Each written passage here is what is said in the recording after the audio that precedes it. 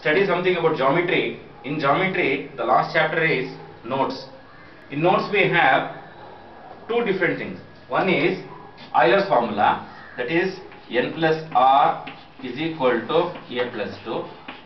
And another thing we have f plus v is equal to e plus 2.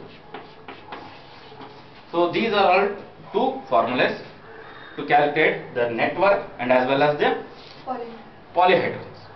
Now let us go to a network first. If you take a network, let us take a star.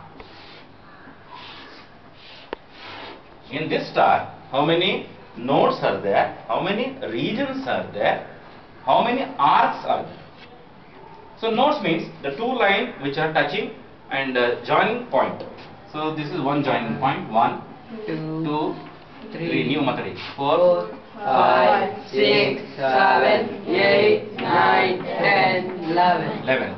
So 11 nodes we have. Region. Region means fully covered boundary. Fully covered boundary. Go back. Boundary. So 1, 1 2, 3, 4, 5, 6, 7. So we should add one extra. Why? Because we are staying in a word. It's fully round. So add one extra to it. So it will become 8. Fully round. Now let us see arcs. How many arcs are there? So the distance between two points.